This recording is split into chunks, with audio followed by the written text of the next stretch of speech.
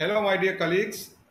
Welcome to another webinar hosted by the Sri Lanka Dental Association and the Commonwealth Dental Association. Uh, I would like to every, uh, welcome everybody from all over the world uh, to this very important webinar. And uh, we have uh, with us a very important speaker uh, whom we got with the support from Professor D.Y.D. Samarawickrama as well and uh, I would be uh, giving a very brief CV of uh, Professor Seymour because all his allocates and uh, titles are too long for me to read at this junction. So I'll be very brief. Um, uh, professor Kevin Seymour um, is a professor of uh, periodontology and an honorary consultant in restorative dentistry at the University of Manchester, United Kingdom uh, he is also the deputy head, Division of Dentistry, program director of MSc uh, Clinical uh, periodont in Periodontology, and the program lead for BSc in Oral Health Sciences, that is hygiene and therapy. He qualified from King's College London in 1981, and he got his PhD uh, in 1991 from the London Hospital Medical College and he moved to uh, uh, Manchester in 2012, and where he is residing right now. And he has co-authored two books. One is the Oxford uh, Handbook on Dental Nursing, and uh, the second one is Clinical Problem Solving in Periodontology and Implantology, which I might add, which is uh, kind of a textbook for a lot of uh, postgraduate dental students from all over the world be it periodontology or in restorative dentistry. And uh, he's a much sought after lecturer, uh, both locally and internationally. In fact, he has been gracious enough to accept the invitation from uh, Sri Lanka Dental Association to be a speaker at the forthcoming uh, uh, Asia Pacific Dental Conference, which will be held in this year uh, in Colombo on May, yeah, around May and uh, uh, he has uh, published extensively in international journals as well. So I think I have done justice to the brief introduction.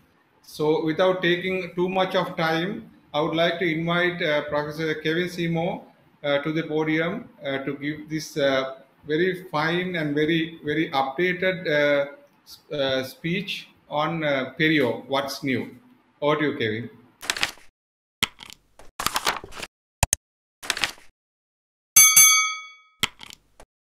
Thanks very much, and good afternoon. Well, sorry, good evening, everybody. Good afternoon to those of us in the UK, but good evening to you in um, Sri Lanka and other parts of the world. And it's great to see so many names that I recognise on the um, participants list. And I'm just sad that I wasn't able to make it to um, Colombo last year for APDC, and also we'll be doing it virtually this year. But anyway, it's so nice to see so many familiar names um, and not faces, obviously, on this. But yeah, um, and thank you very much for those warm well words and words of welcome. And yes, I spent a long time at the Royal London, and, and, and DYD did insist I wore a tie today. Now, those of you that were ever at the London, this is an old Royal London Hospital tie, which has stood me in great stead for many years. And what what what Sir Van didn't say was that when I was at the Royal London, I worked with and for DYD for a number of years, and of course he was my PhD supervisor.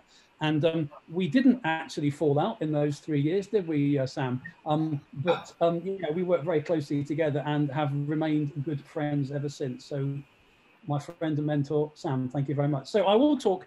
Um, I will share my screen and um, start this lecture it's very much a personal view and it may not be what you're expecting or it may be less than you're expecting but it's a personal view on you know my own thoughts particularly of what's gone on really in the last 10 years or so. Actually since i moved from queen mary the royal london up to manchester um, where i sort of wondered that we were going i was going to a different part of the country and i kind of wondered whether the patients in manchester were any different from the patients in london the answer, no. Um, it's pretty much the same old, same old. You know, periodontal disease is still caused by plaque. Although actually up north, if anybody um, in, in the audience has been up north to Manchester in, in the UK, they don't refer to plaque as plaque, they refer to it as plaque in their northern accent. So maybe it's a different disease, I don't know. But are our patients any different from other patients in the UK or the world? We could talk a bit about risk factors, a little bit about the new classification, and of course, what is very, very topical at the moment, obviously, with the pandemic. Is there anything new as a result of COVID? Might ask some questions about that later. Periodontal disease, there's still a lot of it about okay, with a sort of um, conclusion that it's responsible for around three and a half million years lived with disability, lots and lots of money lost and wasted in productivity and um, in terms of the huge um, American budget in terms of oral diseases. Okay, one of the most common diseases of mankind. It's the sixth most common prevalent disease worldwide, with a with an overall prevalence of 11%, which is quite a lot. 743 million people affected. And that's a lot. And the global burden is increasing sort of year on year. So we need to be very much aware of it. And of course, as periodontitis is the major cause of tooth loss in the adult population, um, you know, that means that there are people living with considerable um, disability, if only oral disability. But there's all the quality of life um, uh, measures and things that, that, that, that, we're aware of, you know, that people will suffer from as they lose their teeth, etc. But as I said, periodontal disease is still caused by plaque or biofilm, as we probably call it now. Um, it's still caused by plaque. And as a consequence, we still need to treat it as such. You know, we need to remove plaque. We need to remove plaque retentive factors and we need to give the patient good oral hygiene instruction, etc. So the mainstay of our treatment is still non-surgical periodontal therapy, and I make no apology for that whatsoever. If you were um, tuning in and expecting me to show you lots and lots of slides of my fantastic surgery or my trainees' fantastic surgery these days, rather than mine, um, you won't be getting that. Um, I do always stress to my postgraduates and my trainees that periodontal disease, or peri sorry, periodontology is a medical discipline, not a surgical discipline. And yes, we do like doing surgery. I find nothing more interesting and, and fun than spending an afternoon doing some periosurgery. However, it's a medical discipline and should be treated as such. So I think we just need to review the aims of non-surgical periodontal therapy, removal of attached biofilms and non-attached microflora in the gingival sulcus, and the pocket should be removed. And remember that um, the Axelsson um, aims of, of non-surgical therapy is that it's a very conservative process, so that we need to make sure that we conserve as much of the natural healthy tissue as possible. And that in particular means cementum to leave as much cementum on the root surface as we can with our debridement because we know that cementum has the potential for repair. We know that within that periodontal environment are all the stem cells that we need to help regenerate that the periodontium.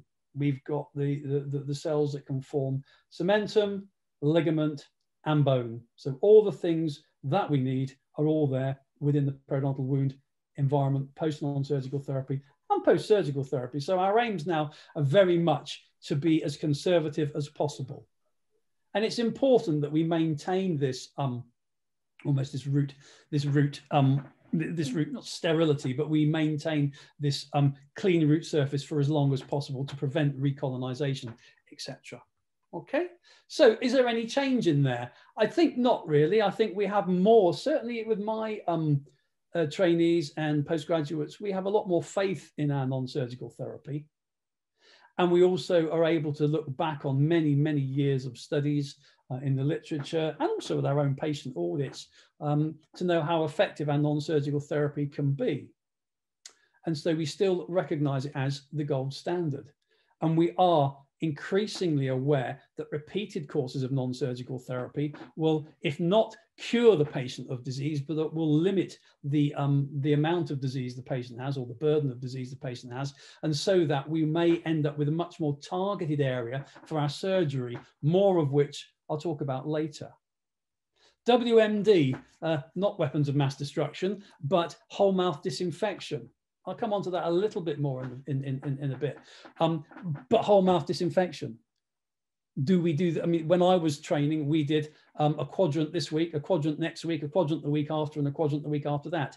Nowadays, we, we tend much more to do either the whole mouth or certainly half mouth at a day or two day intervals. Is there any great evidence that that's more effective? Probably not.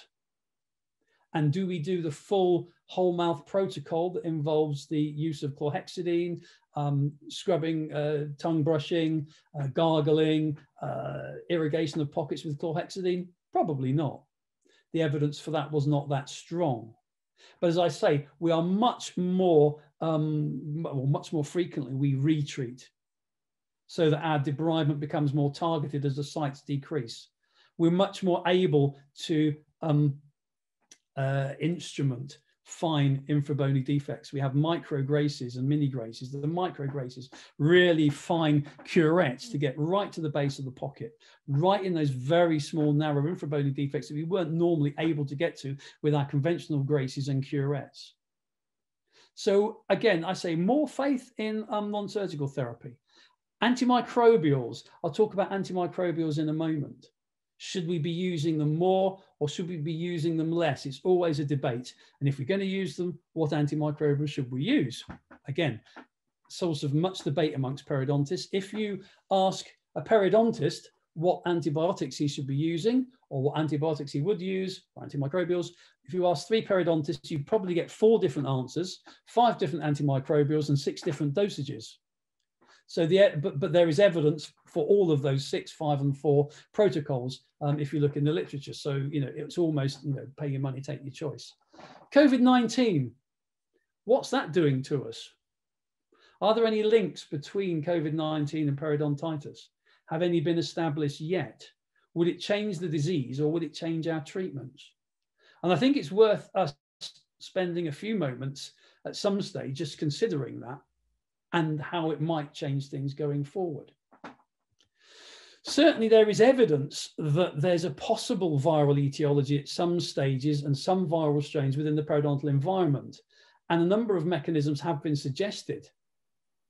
And certainly, there are links between periodontitis and other chronic inflammatory diseases, some of which have a viral origin.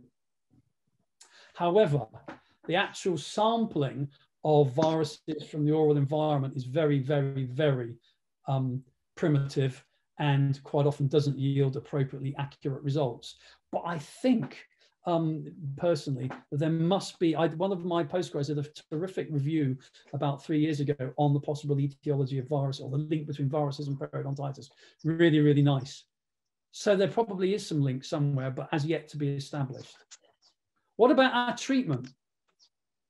I mean, certainly up until this time last year, I'd never heard of an aerosol generating procedure and I'd never really thought about what that aerosol was doing in my, you know, while I was doing surgery or non-surgical therapy.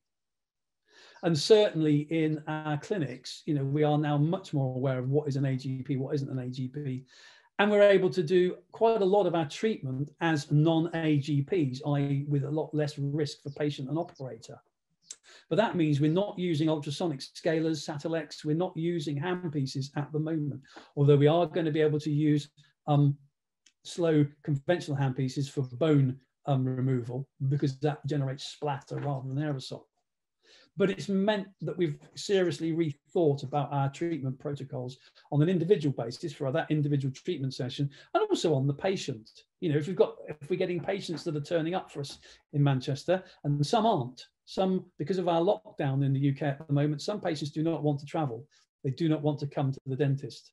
They do not don't want to come for what they consider to be elective treatment that is not of, of, of, of an emergency nature. So in terms of periodontal disease, we really have to get back and motivate those patients. So are we going to see more emphasis on the whole mouth, half mouth approach rather than quadrant approach? Yes, I think we are. But also, um, my postgraduates at the moment are swearing at me because they're using hand instruments a lot more so that we can do our debridement as a non-AGP. Obviously, those of us of a certain age in the room, and I don't suppose there are many of my age, um, I can see a couple, um, we were brought up using hand instruments and we weren't really allowed to use the ultrasonic until we were, you know, we were grown up. So of course, you know, we're a bit more adept with our hand instruments our younger colleagues are becoming more adept. And I think we need to think about that as well going forward. So it's a time to refocus on our treatment approaches. Are patients going to come in for, um, you know, cosmetic type surgery? I certainly know one of my colleagues who has a very nice private practice um, uh, doing implants and perio and very nice restorative um, cosmetic work. That practice has stopped most of their cosmetic work and are concentrating back on the basics. And I think that's going to be true for general practice going forward as well, that we are going to be concentrating much more on the basics. So that some of the stuff that we've learned over the past 10, 15 years in terms of the nice elaborate treatment plans we're doing, we may have to cut back and just be concentrating on getting patients out of pain, um, you know, dressing their caries, um, treating their caries, extracting teeth, making dentures, and treating their periodontitis to preserve teeth. And that's my personal view over, over COVID. Um, if anybody's got any questions on that, I'll be very happy to um, I'd be very happy to answer at the moment. But oops, sorry, I've just pressed the wrong button. Let's go back. So I'll just come on to antimicrobials. Should we? Shouldn't we? Um, there is a. If you talk to periodontists in Europe, and by Europe I mean when we were in Europe, I mean the United Kingdom and the European continent the Central Europeans from Germany, Holland, and so forth use a lot more antimicrobials in the treatment of chronic periodontitis than, say, we do in the UK. And they would encourage us, UK periodontists, to prescribe antimicrobials more. But of course, the UK government have always moved uh, that we prescribe antimicrobials too much, so that we should be encouraged to use them less. And so, where do we stand in terms of antimicrobials? Well, as an adjunct, obviously, in certain cases. Now, the Europeans would suggest that we might use them in the treatment of chronic periodontitis, as was. I would suggest that we probably use them in treatment of what we used to refer in the 1999 um, classification, more coming on that in a moment, um, in terms of what we would call the aggressive diseases, such as the old fashioned localized juvenile, rapidly progressive generalized juvenile. There is a a slightly different altered host response, possible bacterial specificity, etc. So I'm, I might, I'm much more tempted to use in those cases in the early onset diseases. The evidence is that they are effective on a patient basis, but not very often on a whole population basis. Um, we've all probably got anecdotal evidence of, of, of, of, um, of patients, individual patients that we've treated with antimicrobials as an adjunct who've been very successful. Herrera's classic review 2002, they use the Moxil and metronidazole, effective in deeper sites. Um, as I said, there's evidence for most antimicrobials. Most periodontists have their favorite. Um, we used to use um, doxycycline, 200 milligrams once a day for three weeks, but patient compliance on that isn't great. Now we use amoxicillin metronidazole over five days, seven days, um, variety of dosages depending on which paper you read.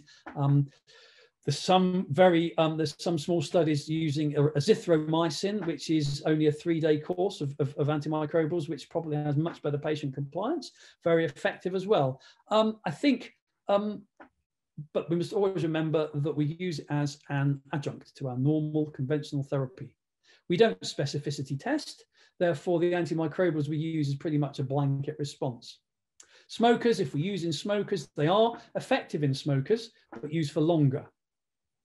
Obviously, for more specific sort of spreading infections, yes, abscess, necrotizing diseases, yes, we would use a specific antimicrobial targeted at those specific bugs. And the older fashioned aggressive periodontitis, as I said before. But the evidence for the use suggests that you should give your antimicrobial on the day of debridement completion so that the biofilm is removed from all teeth and that the course should be completed, um, or sorry, the debridement should be completed over a relatively short period of time. So we're talking about whole and half mouths. And Herrera also suggests that if we use antimicrobials, we should use the antimicrobials for their maximum benefit in the first course of non-surgical therapy. That's his suggestion in his review. Now, I sort of veer off that a little bit in that most of our patients, if we're going to give antimicrobials, we tend to give them in the second course of non-surgical therapy mainly because most of our patients come in and that their first course of non-surgical therapy, we are managing a lot of their disease and their plaque. And so that it's the second course of non-surgical therapy that almost becomes the sort of the more therapeutic in my head. Now, I don't know whether I'm probably veering a long way from the literature there, but that's the way I treat on the second course of non-surgical. Okay, but then of course we talk about aggressive periodontal disease, so we will probably talk about stage four, grade C, uh, in a patient with with possible molar incisor distribution who's young, and then we might think about using antimicrobials then because this is the the periodontal disease that, that, that is the old-fashioned aggressive, if you like.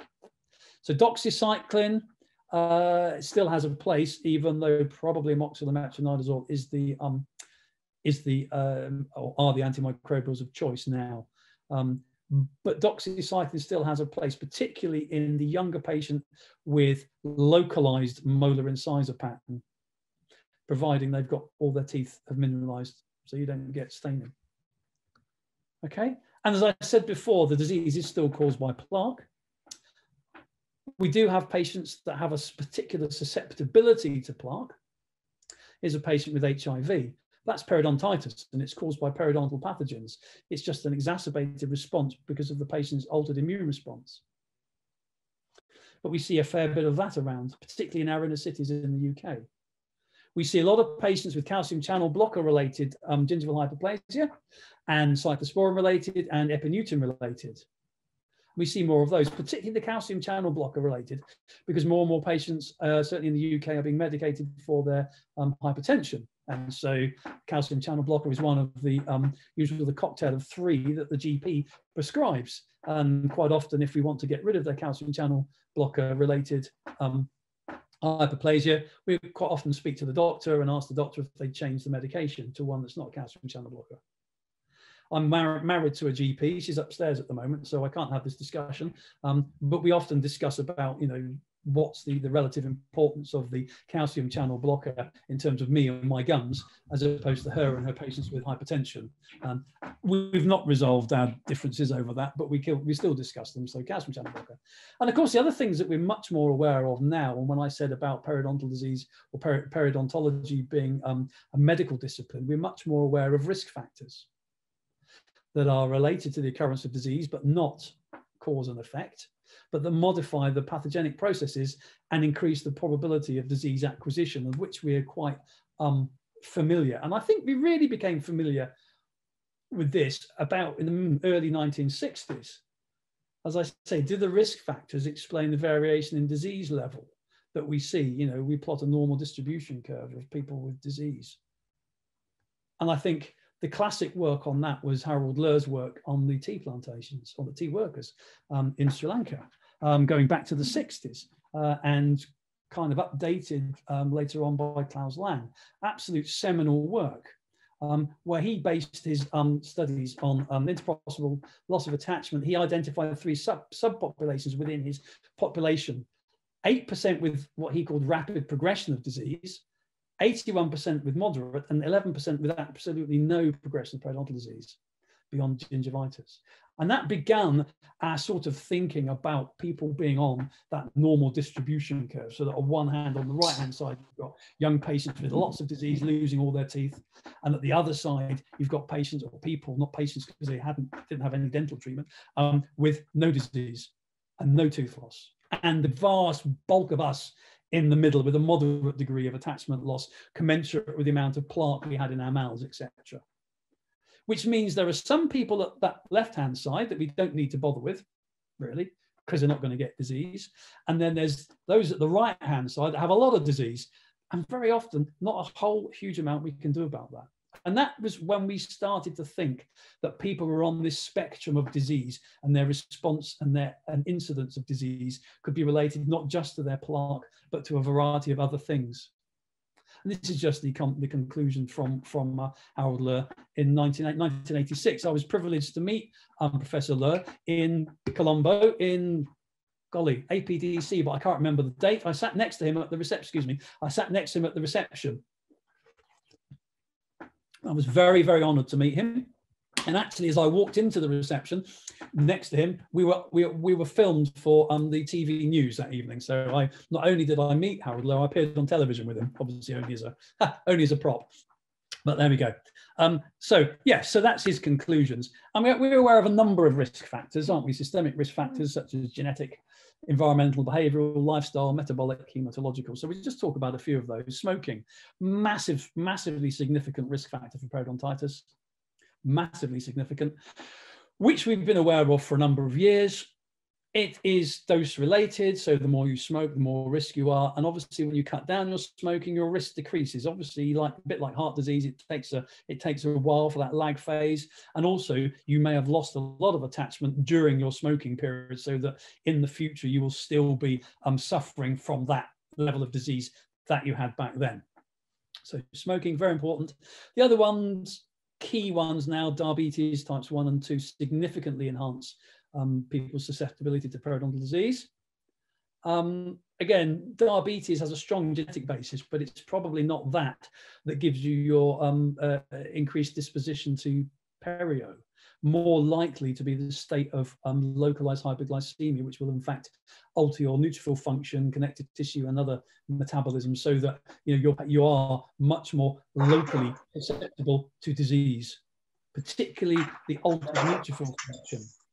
And if we go back in time to the sort of late 70s, early 80s, when there was a lot of work done on the, again, what we called in 1999 the aggressive diseases or the early onset diseases, most of those, particularly the work from Van Dyke and people, most of the, most of the literature then identified um, neutrophil deficiencies or defects in behavior as being key diagnostic features of things such as LJP, GJP, rapidly progressive periodontitis, etc. So yeah, so so so a very real thing, and maybe not just its genetic, you know, may just not be that. It may be the local hypoglycemia.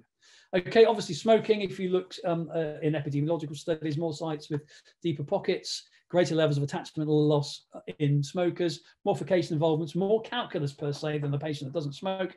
And as I say, pack years related to the disease states. We tend to wander off pack years now. We just ask the patient, how many do you smoke a day? How long for? It's a bit easier, isn't it, really? And these are the things that happen in smoking. I shan't list these. Um, they're there. Um, it's the, the lecture's being recorded, um, and so yeah, so very real pathological change within the periodontal environment, making the patient at that local environment more susceptible to disease. And uh, other metabolic risk factors, yeah, we talked about diabetes, other things such as pregnancy, not a disease, but obviously um, pregnancy with um, altered hormones, altered um, water domain within, within the connective tissue, etc., makes the patient more susceptible. Osteoporosis, a lot of work on osteoporosis, not really much significant um, relationship between perio and, and osteoporosis, but people still work on it. Crohn's and sarcoid, which we, I won't really go into. Type 1 and type 2 are at risk in times of diabetics if control is poor. And that tends to be independent of plaque control or calculus. We're also realizing that the relationship between diabetes and perio is a two-way stretch or two-way street. So that you know a patient with diabetes may be more susceptible to perio. If you make their perio you know, if you control their periodontal disease it may have some contribution to keeping the diabetic control better and vice versa very early days in that research, but quite important. And if you talk to patients anecdotally, as I did last week, and I said, you know, this patient, we're going back to the COVID business. Um, we've had patients, of course, that because our dental hospital was closed for our perio clinics from March through till September. So we had patients that we hadn't seen for sort of six months and they've been left to themselves. And I was absolutely delighted that the vast majority of, of the patients that, that, that um, came back um, were doing really, really well because they'd gone home with their toothbrushes and their TePe brushes and they were treating themselves.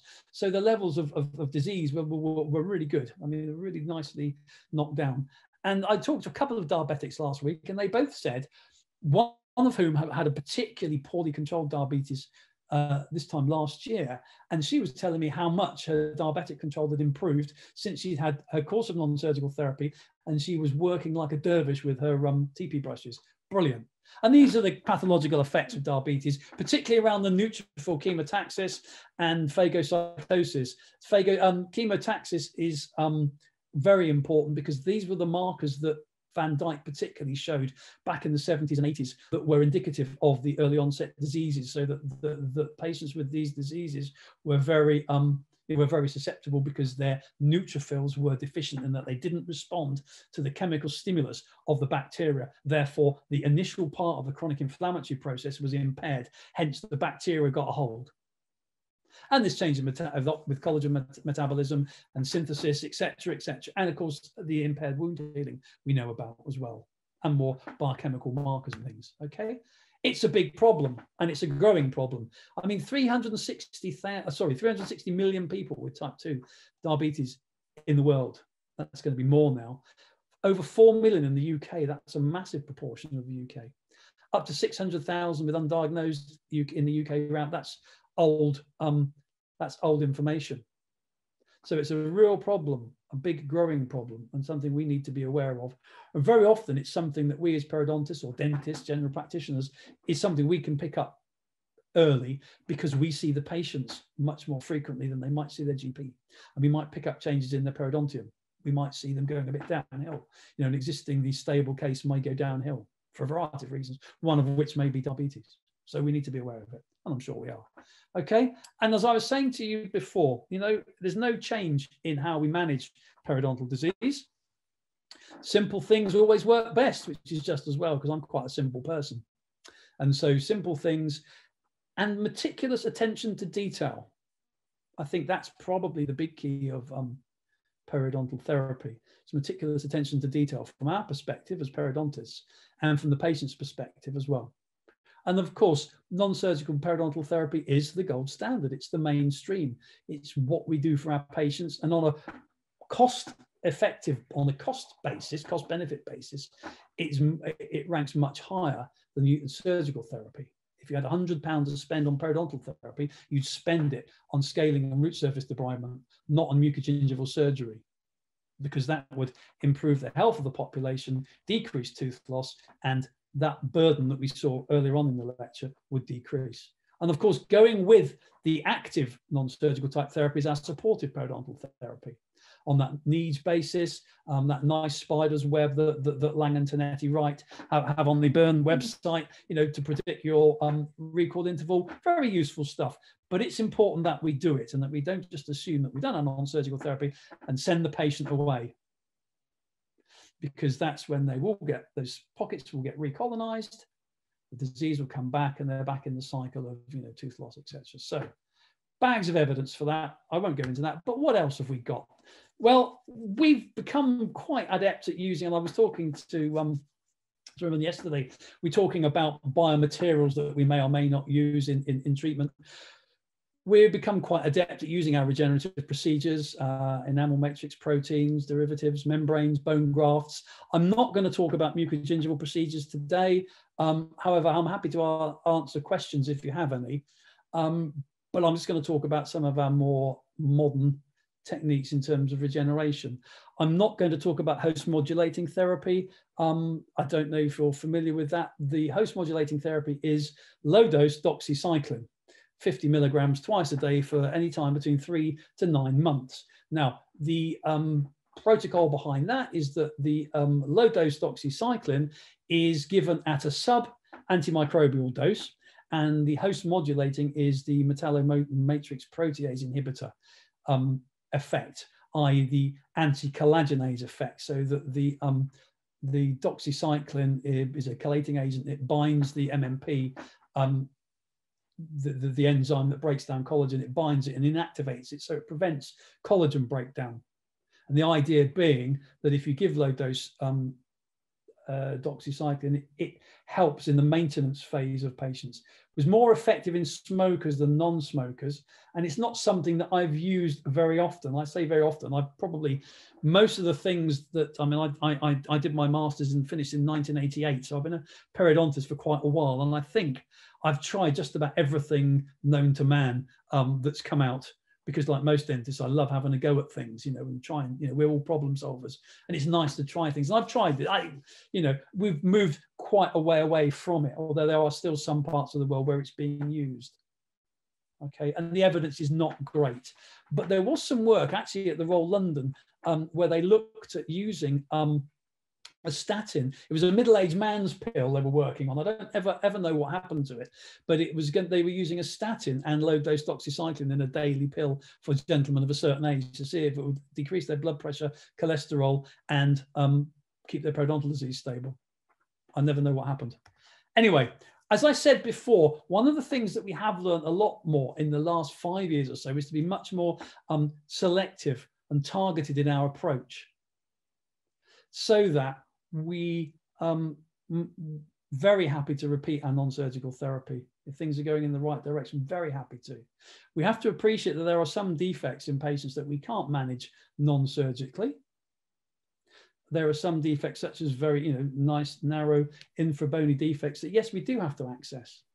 We do have to try and think about cleaning them out by direct vision rather than the indirect nature of non-surgical therapy we're also very very aware of the importance of aesthetics when I was a young periodontist, you know, we were doing sort of quadrants of flap surgery, apically positioned flaps. Patients would come in with, you know, pretty boggy gums, and they go home with five or six millimeters of recession around those teeth because we'd chopped a lot of that gum away with our apically repositioned flaps. And, you know, um, so the patients went home with lots and lots and lots of recession. They didn't like it. And the other thing we're very, very aware of is the papilla. And unless you're very lucky, and um, can reconstruct and place your contact area the right distance from the bone, and our Dennis Tarnow. Um, once we've chopped the papilla, it's gone pretty much. But I think one of the most important things we've learned in the past, certainly me, in the past five or six years, is the importance of the clot. That's the clot that forms post surgically or post non surgically, where we have to, um, where we are aware that if we keep that clot stable and immobile and we cover it with good primary closure, then the clot has all the nice things inside it that have the potential to regenerate the periodontal um, apparatus. And that's bone, ligament, and cementum.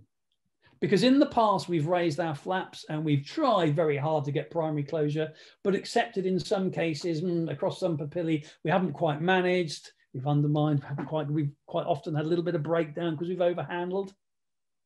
Now we must make sure that we have, if we are looking to regenerate within an infrabony defect, we really need to remember that clot needs to be kept stable and enclosed. So good primary closure. Whether that's with biomaterials or a membrane or even without.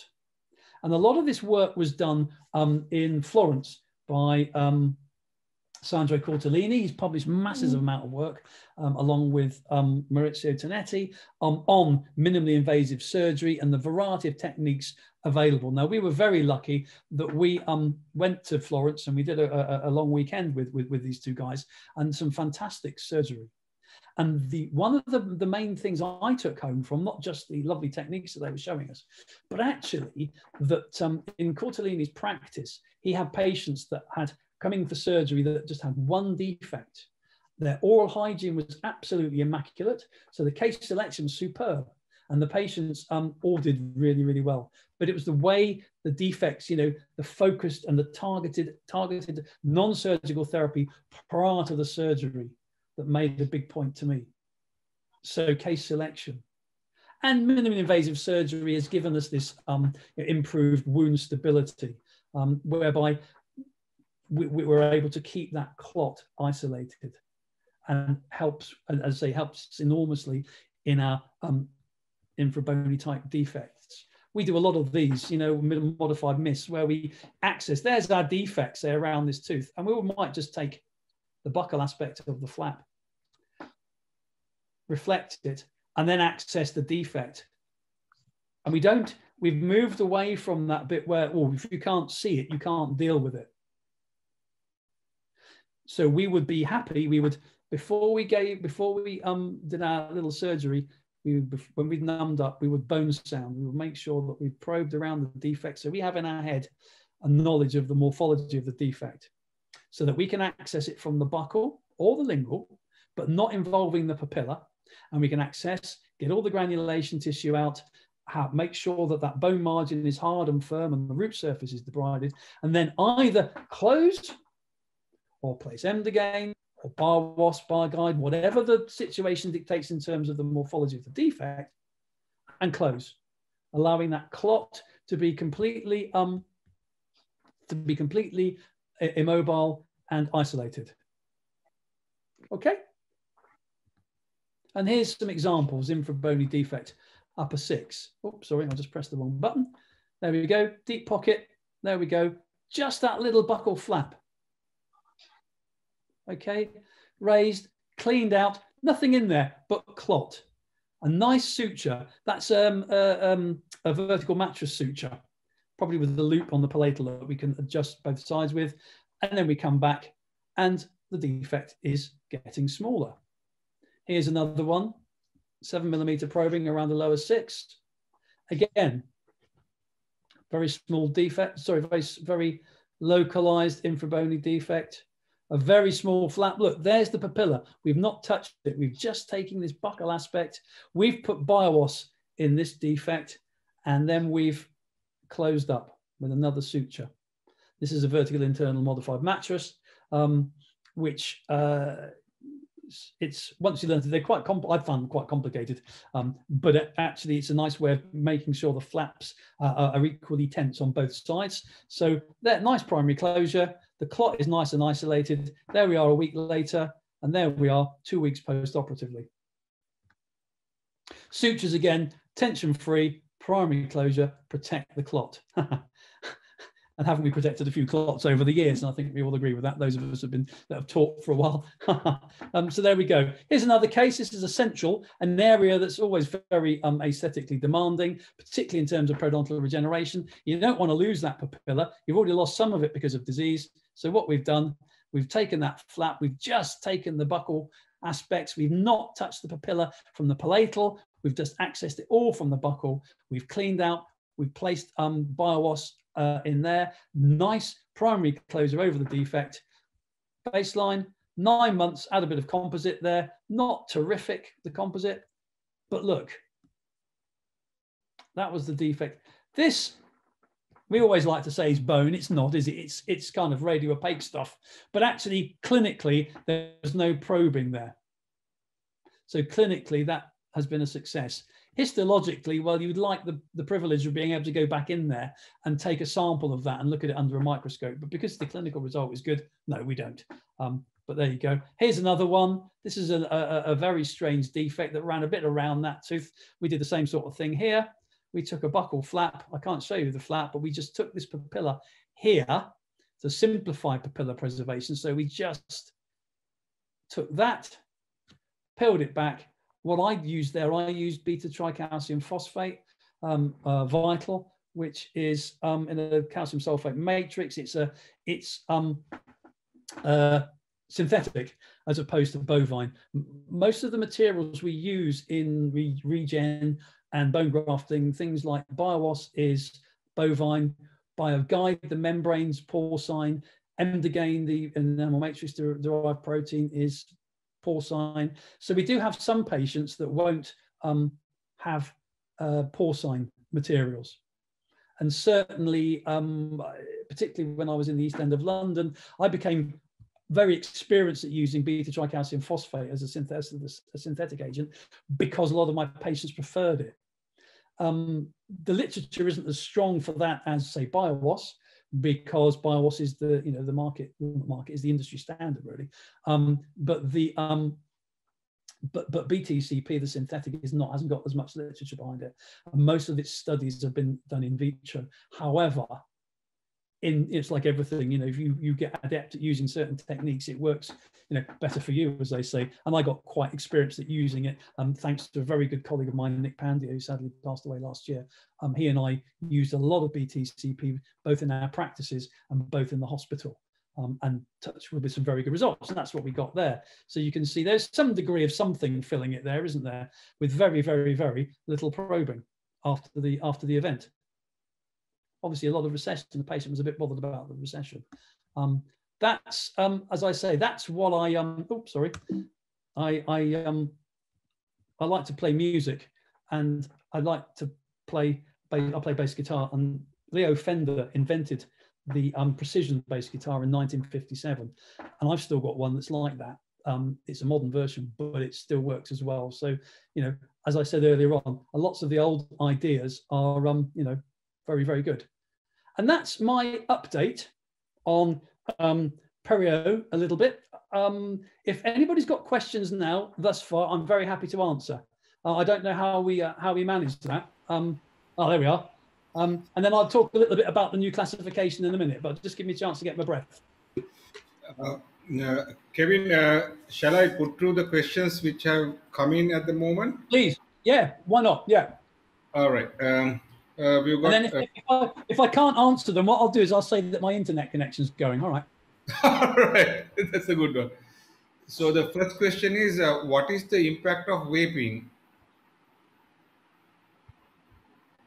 Right.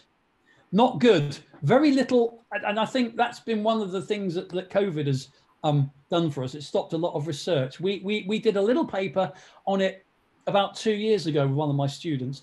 Um, there isn't that much evidence, but the effects of vaping are the same as smoking. They're, they're harmful, but it, it's in that way of jumping out of the fourth story of a building rather than the 10th story. Yeah. But yes, there are vaping still has harmful effects. Yes. So it's not something that we as periodontists would recommend. You know, we tell patients to go, you know, to give up smoking, um, but we wouldn't suggest they go vaping. Okay. And the second question is, how effective the plasma-rich fibrin (PRF) in regenerative therapy? Right. That is something that um, I don't know whether you used it when you were at the Royal London, Srimavan. Um, we Uh, don't no, use it. I didn't. No, I didn't have a chance to Oh. use. it. No, we don't. It's not that widespread use in the UK. So I have to say, I've never used them. Having said earlier on, I've tried most things. This is one of the things I haven't tried because we don't use it in the UK very much. However, there are lots of very good papers and nice pieces of work that have showed its effectiveness. And I would suggest it's a possible thing that, that were we back to normal, I'll be investigating. So this is widely used in US, is it? Yes, it is, it's, but not in UK. Okay. And the third question is, uh, what is the glycemic control level uh, that should be achieved prior to surgical management of a diabetic patient? Oh, good grief. Oh, that's a that's a really difficult one. Okay. I have to say, um, at this stage, I don't I don't know because um, usually we don't test we don't test patients in the surgery, and we rely on their recent tests from their GP. So they're always going to be slightly out of date. So we Mhm. tend to use the stability from the GP. And I can't remember the number actually. I'm sorry, it's gone completely. So you mean to say, I mean, uh, when the patient comes into the clinic of yours, uh, you don't do the testing then and there for the glycemic level. No, we don't. We don't. We don't have that facility in Manchester, and I don't know other hospitals do particularly. All right, okay. Okay. Okay, that's right. And uh, there's a last question at the moment for this session is, what's your view on the use of uh, probiotics in the treatment of uh, periodontal diseases?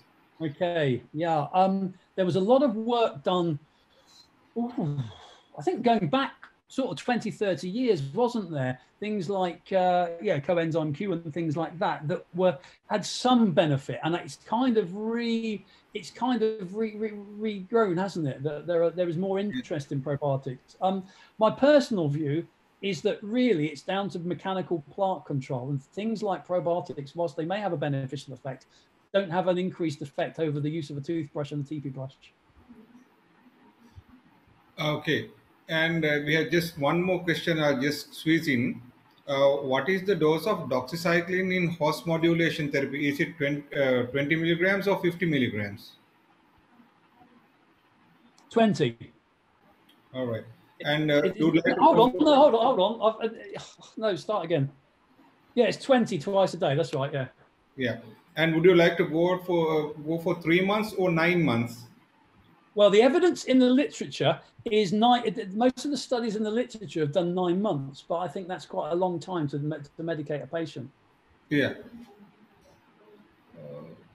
So when I've used it, I've only given it for three months, and even then, I think you know that's a long time to be giving a patient a drug.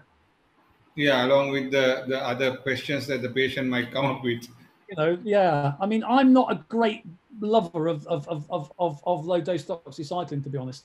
It's not something I've used very much because I don't really, I haven't Okay. really seen the need for it in, in in a sort of, I suppose, on a population basis. And individual patients, yes, but I'm not really that often seen the, the need for it in my own practice, shall I say. All right. Uh, so that's the the number of questions which I can um, forward it at the moment, but there are some other questions which have come up. So I'll, I'll uh, forward it at the end of the next session.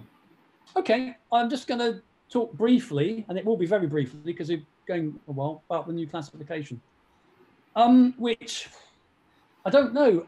You can talk. You can tell me before you go. Go, Sir Srimavan. Are you using this classification in your practice? Uh, yeah. Good. Then it's not a new classification anymore, is it? Yeah. It's an old. You know, it, it, it, it it's an old classification because this paper. Um, excuse me. I'll just take a. You do realise it's after Sunday lunch in the UK.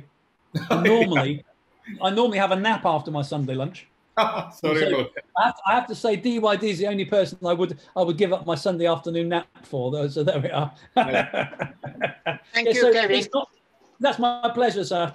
Um, it's not a new classification anymore, is it? 2017, the work was done. My the, the, the, the sort of word I get, particularly from people that were on the working group at Ian Chapel, that it, quite a lot of it was driven by the Americans and their need to stage and grade things, so that um, you have a di- I mean, yeah. So it class, you know, peri-implant diseases, periodontal diseases, and conditions. Uh, We're really interested in periodontitis. That's what we're interested in. Other conditions affecting the periodontium, yes, systemic diseases, abscesses, etc., gingival diseases. But the main thing is perio, periodontal disease. That's what we're interested in. And it means now that we have periodontitis or peri-implant diseases, but we'll concentrate on periodontitis. And that's our diagnosis. That's our diagnosis. Um, we have periodontitis, and then we classify it. This is not a diagnostic um, tool, it's a classification tool which aids us communicating to each other about patients, helps us look at the progression of the patient's disease, their cumulative effect, and hopefully where they're going and the complexity of the case. Not a diagnosis. What it assumes, as I said, this is our diagnosis. And you have to have a di- definition of periodontitis, which we've all got one, inflammatory processes involving the deep periodontal tissues. According to the 2017, it's a you know interproximal clinical attachment loss of greater than two millimeters or greater than three millimeters at two more than two um, non-adjacent teeth commonly used. So attachment loss of some degree. That is our diagnosis, periodontitis. And of course, we've gone through a variety of different classifications. I mean, as I said, I trained and finished my master's in 1988. So I was very, very keen on the 1989 classification. It made a lot of sense to me. And it made a huge amount of sense because at that time, my research, I looked at neutrophil function as part of my master's and, and, and later.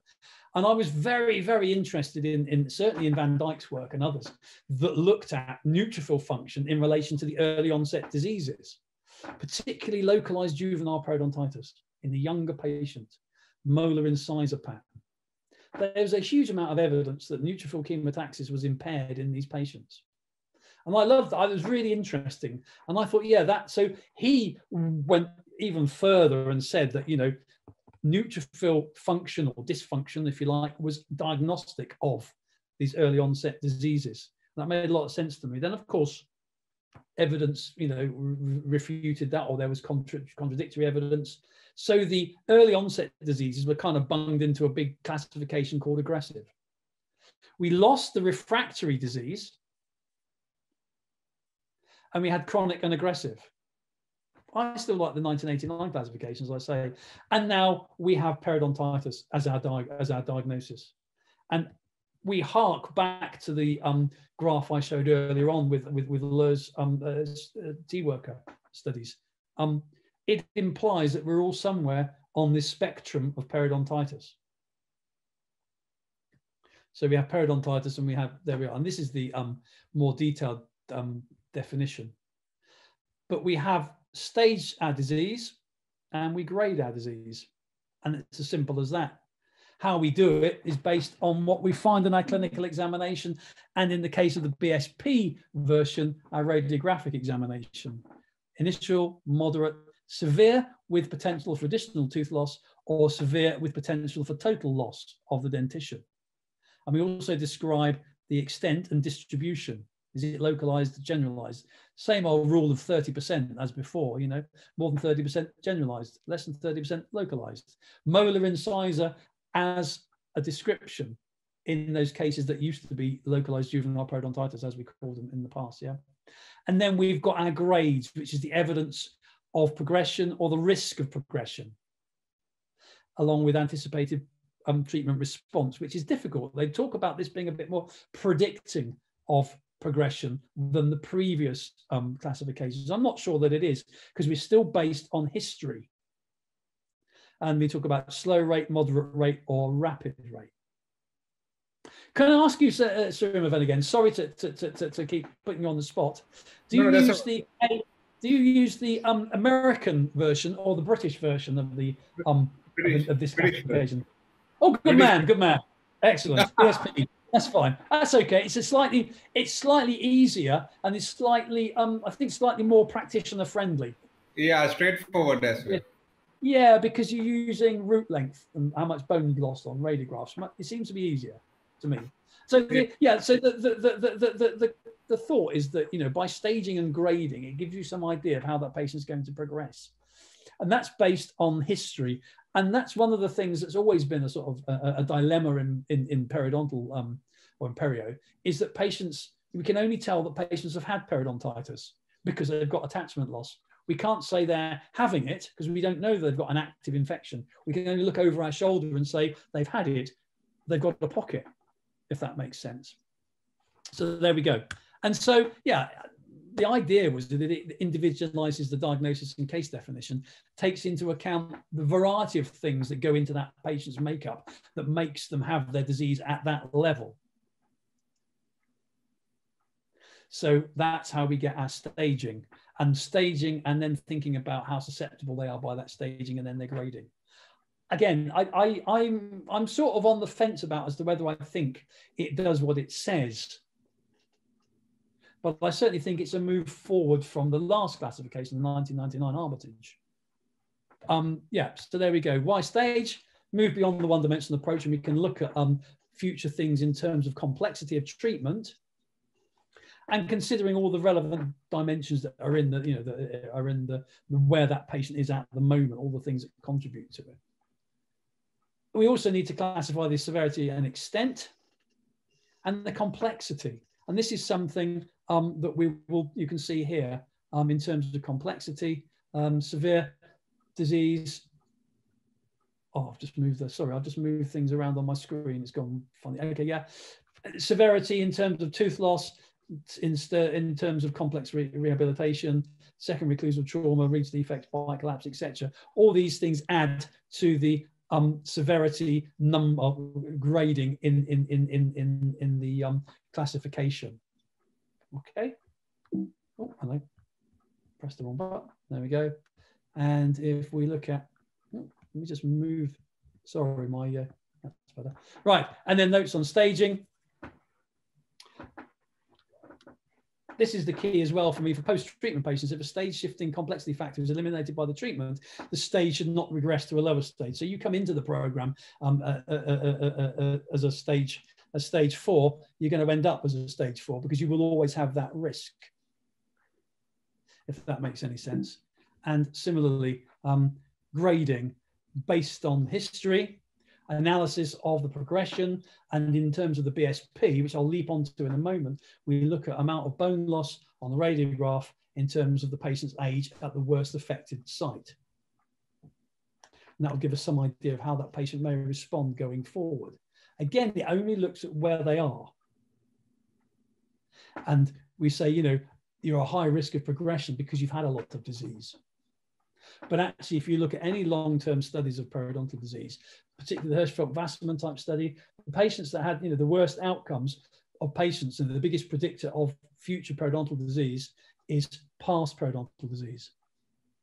Now, in terms of the grading of um, in the AAP, um, EFP version, they're looking at, um, excuse me, amount of attachment loss over a period of time, particularly with the grade modifiers of smoking and diabetes. But in the BSP, we also know um, so we also need to know about the extent and the and the um, severity, also the risk factors that are present. But the peri the, the BSP is a lot more simple because it looks at um, the basis of bone loss rather than clinical attachment loss or clinical attachment level, which is not something that we look at normally in practice. If that makes any sense. And you know, complexity index. Yeah, the same with grading. We tend to use the grading was to look at um, radiographs, percentage of bone loss divided by the patient's age. So anything over one was C, anything between half and 1B and under half A on the worst affected tooth. And we also need to look at current status um, and stability. So we look at this is the guideline from the BSP, something that's currently stable with less than 10% bleeding, pockets all four millimeters or less, and no bleeding at those sites, etc. Stable, remission, and unstable. So the majority of our patients come in, they'll be unstable.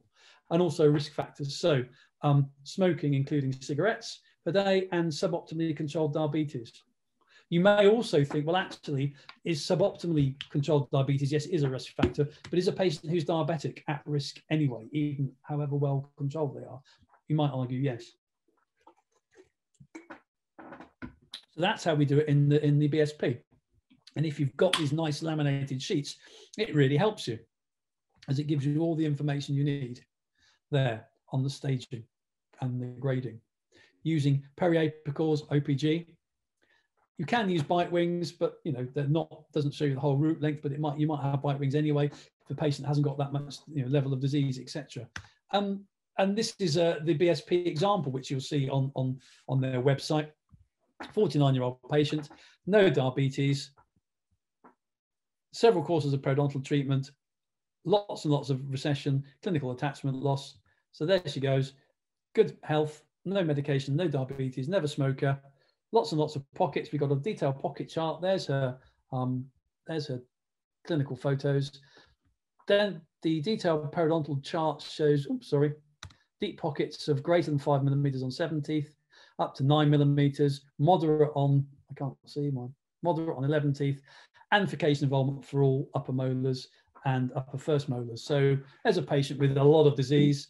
So the classification, there's the radiographs, this patient's 49, more than 50% bone loss around that tooth, that tooth, that tooth. So that gives her gives us a, gives us a clue to her um her grading. Bone loss on all teeth except these teeth. Up to 80% bone loss. Yeah, over one. 21 out of 26 teeth are bone loss due to periodontitis. So that makes it generalized for C currently unstable.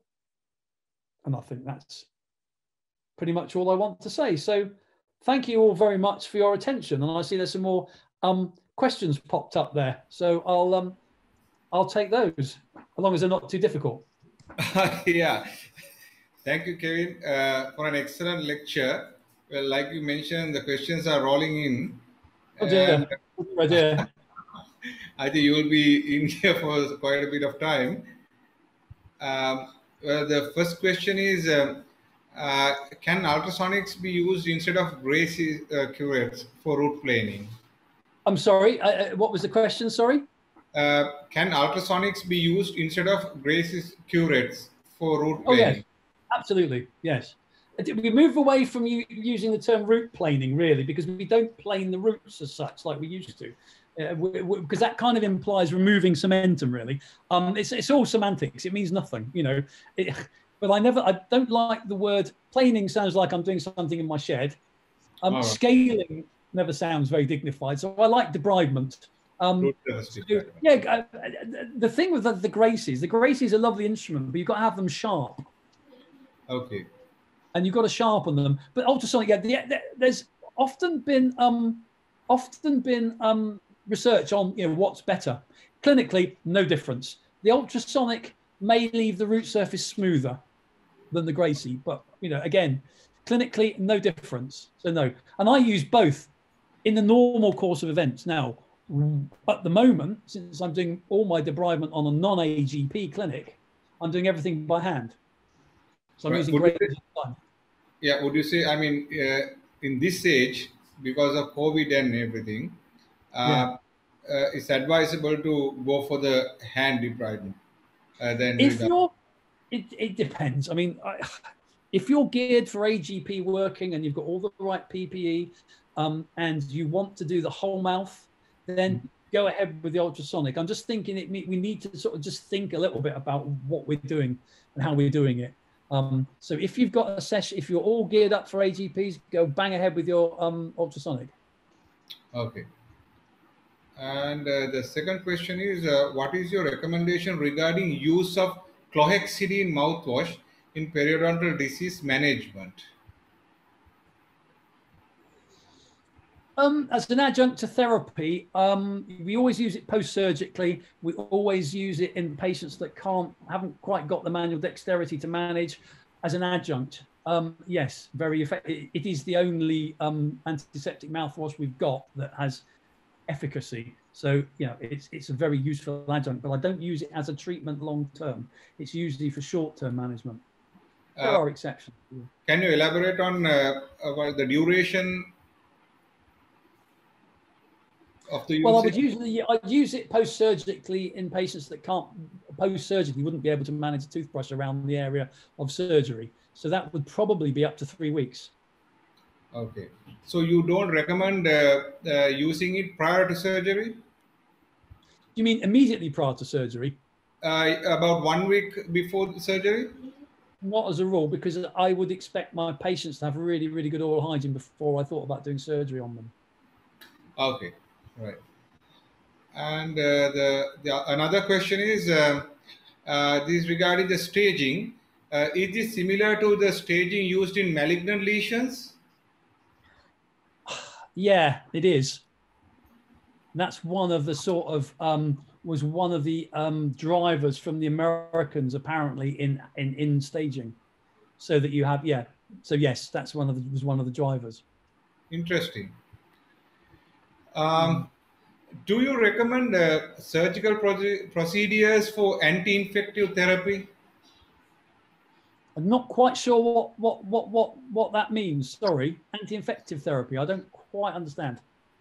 Uh, I think uh, the question is regarding like uh, when you do flap surgeries as such, uh, uh, which incorporates with the anti-infective therapy. I think that's what the the question is directed to us.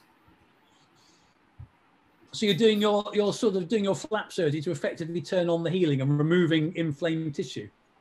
Exactly. Yeah. you should be able to manage in 90% at least no more than that with the non with good non-surgical therapy so the answer is no i suppose All right. Okay. Thank you.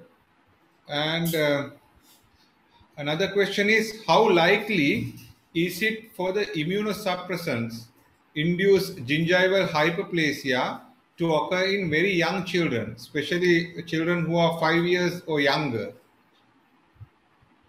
How likely is it? Yeah, that's right. that's an interesting question. I don't know actually because i treat very few children. I would say it is likely but of course once they lose their primary dentition then that gingival hyperplasia will go with it because it's plaque related Yeah. but obviously um, if they've got it and it's impeding things then you know the only treatment we have for it is surgical removal When you are using surgical removal, this is a, a an adjunct question which I am going to put. Uh, do you use laser or do you go for the uh, scalpel? I tend to use scalpel. Um, again, um, little experience on lasers in a hospital because our, our hospital won't buy one for me. So um, I would use a laser if I had one um, because they're very effective in this particular instance. So I'm so I gather from the from the literature. But at the moment, I'm stuck with a blade. So yes, a blade, and then you need to think about what kind of flap you're going to. Are you going to do a conventional gingivectomy? where you, you know, do your 45 degree incision, or are you going to do an inverse bevel gingivectomy and thin the tissue, which is much better for the patient? Yeah, comfort. Uh, there's another question which has come up. Is regenerative therapy contraindicated in teeth with an ongoing secondary occlusal trauma? Right, that's a good question.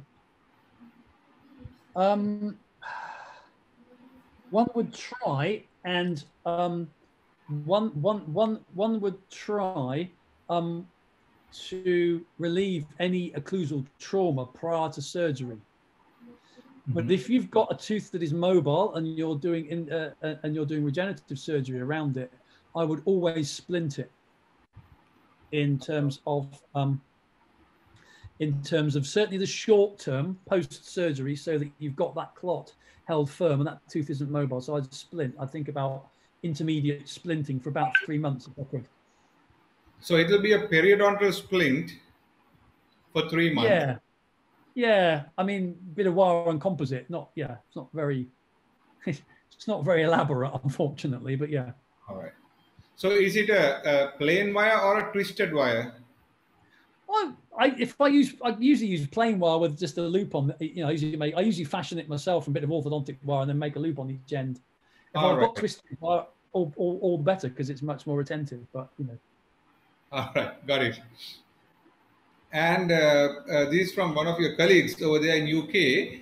Is asking whether the new classification increased the need for radiography, especially in keeping with the mind the Alara principle.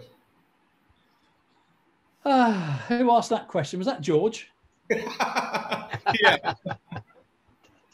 Yeah. Um, that's a very, very good question, actually. Um, in my, in, in, in, in, in um, certainly in my own practice, my own clinic, I would say no. But then we have a radiology department that are always telling us we're taking too many radiographs. So we tend to make a lot more use of our OPGs. And so Oh. most of our patients on our diagnostic clinics would come and have an OPG or have an OPG sent from their own dentist. So for me personally, it hasn't, but I can see the danger that that is, you know, that, that there is a possibility that you might increase, you know, I can see why, because you want to see, you know, you want to take periapicals. And of course, a good long cone periapical is the radiograph of choice for um, looking at periodontal bone levels and, and the apex. So, you know, yeah. But then our radiology colleagues throw their hands up and so. yeah. And uh, what is your opinion uh, regarding the two mouthwashes, Listerine uh, versus chlorhexidine? Again, the evidence is much stronger for chlorhexidine as um, an adjunct to therapy because it's a much more effective anti, anti, antibacterial, antiseptic. So we tend not to use Listerine. Now, having said that, I use Listerine every morning, but there's no evidence in my mind that it's doing me any good. But I use it every morning because I like the taste. And um, uh, uh, in which occasions would you recommend to use the membranes in surgical management of periodontitis? Hmm. Okay, that's the different. That's a whole different lecture, really, on Mhm. regeneration. Um, I would be looking at larger, wider defects um, than the ones I showed you in the little presentation, um, where I'll be the narrower, the longer, narrower defects are much more amenable to things like Emdogain. Right. Uh, in Whereas a wider defect, if I needed support for the soft tissue, then I would put a membrane in there. If I and certainly if I was using Bio-Oss as well, I would very likely use a membrane with Bio-Oss. You have invited yourself for another webinar. Oh, thanks.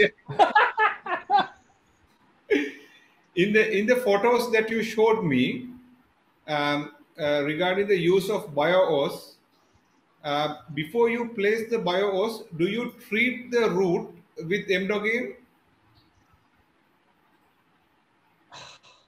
sometimes yes, and sometimes no.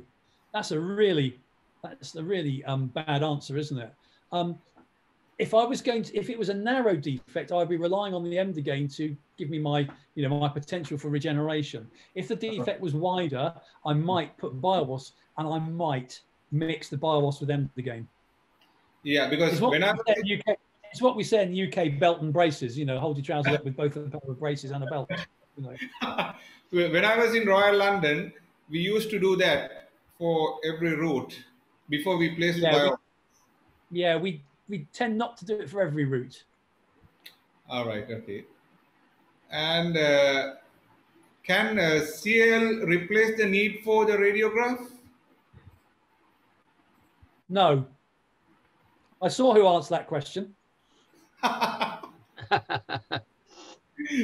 and another one is, uh, can you please comment on the laser use on the road yeah, I, I, I, personally can't because I don't have experience of it. However, um, I do have colleagues that use it, um, and uh, and the evidence and their own experiences are very, very positive. Hence, I would have one if I could buy one. So, uh, did you have a chance to uh, uh, sort of encounter with this photodynamic uh, therapy as well? Yeah, I haven't much. I haven't. Again, I've got no experience of that or the evidence for it. All right. And I think you'll find a number of periodontists in the UK the same. You know, yeah. Okay. So, uh, uh, at what stage uh, would you condemn a tooth for the extraction? Oh, that's a that's a that's a very difficult question because it's you know how long is this piece of string? You know, um, is the tooth restorable? You know, is it a useful tooth? You know, we get quite hidebound at trying to save teeth that are a unsavable and b actually not much use you know, a solitary standing molar that's unopposed, you know, in a mouth that's got five to five, you know, things like that. Um, so it's every single situation is different. So when would I condemn a tooth? If the patient asked me to as well, if it was interfering with function, if it was painful, all those things, if the disease wasn't helping. Yeah. Okay. I know I'm taxing. Uh, I'm sorry about that, but the, the no, question... it's fine. No, it's good. I can, I can, I, I just pretend my internet connection is going if it's getting too much. You know. yeah and uh, the, how the treatment changes with the new classification of periodontal disease. Ooh. Ooh. Ooh. Um, I, I don't think I don't think treatment has changed. No, I don't think I, I and it shouldn't do because if patients, you know, patients have a level of disease, they, sh- you know, yeah. they should get the treatment that they, you know, that that level of disease um, dictates. I don't think it's changed uh, the amount of treatment or the sorts of treatment we're doing.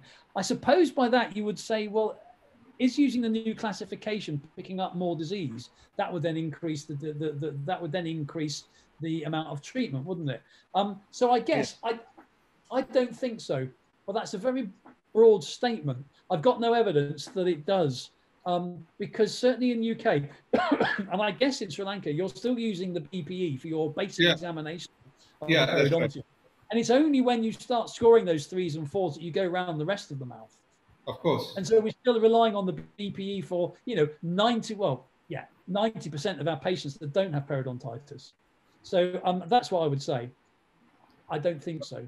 There we are. That's the, that was the clever clever British professor, something I don't know, wasn't it, really? what is the opinion regarding selective grinding uh, uh, of teeth uh, when you are treating occlusal trauma? Right, yeah. It's one of those things that's, yeah, again, it's a bit like saying which teeth do you take out? I mean, selective grinding. If you've got an occlusal problem, then you should be managing an occlusal problem. If you've got periodontally involved teeth, um, that have some degree of occlusal prematurity or whatever, you start grinding them, they usually come back into that position at some stage unless you do something yeah. else. So it's a, it's a, you know, short term, like I said before about the, you know, with the secondary occlusal trauma, I would splint.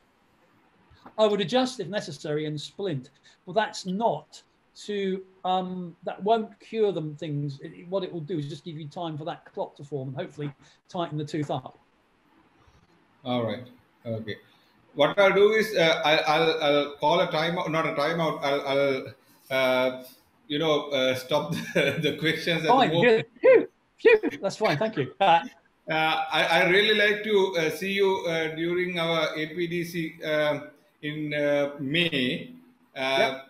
I got the, the the information that you have a, a nice lecture lined up as well. So hopefully we can forward and interact some more regarding periodontology at that time. So let me take the time to thank you uh, from the bottom of my heart, as well as on behalf of the Sri Lanka Dental Association and the Commonwealth Dental Association, for providing with a very in-depth and excellent lecture, along with uh, the natural uh, the humor that you are associated with, which made things light for everybody. And uh, as you can see from the number of questions that were rolling in, everybody was, you know, integrated uh, with the, the lecture. And I think uh, in future that our postgraduates from this end will be having more opportunity to interact with you. Um, That'd be great. That's the great thing about working from home now, isn't it? You see, you can interact with anybody in the world. yeah, that's right.